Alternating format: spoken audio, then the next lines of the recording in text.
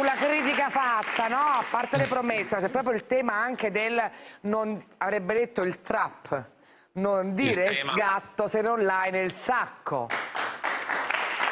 Lo diceva Trapattoni, no? Il...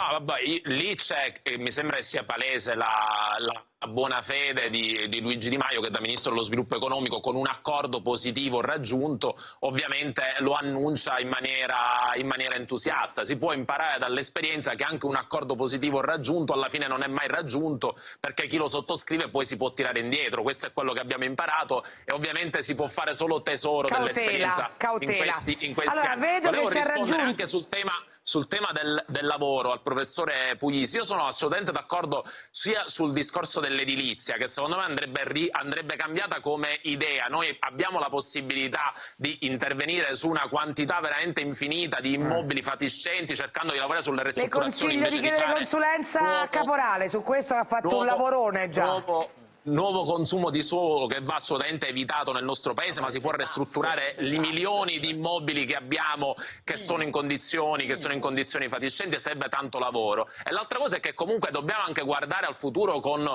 con ottimismo, con un atteggiamento positivo. I dati che oggi legge, leggevo durante la pubblicità sul giornale di eh, Antonello Caporale è che comunque la disoccupazione è in discesa, siamo al 9,5% ed è il miglior allora, dato si fermi un attimo, Corrao, perché devo dare il benvenuto a una signora. È arrivata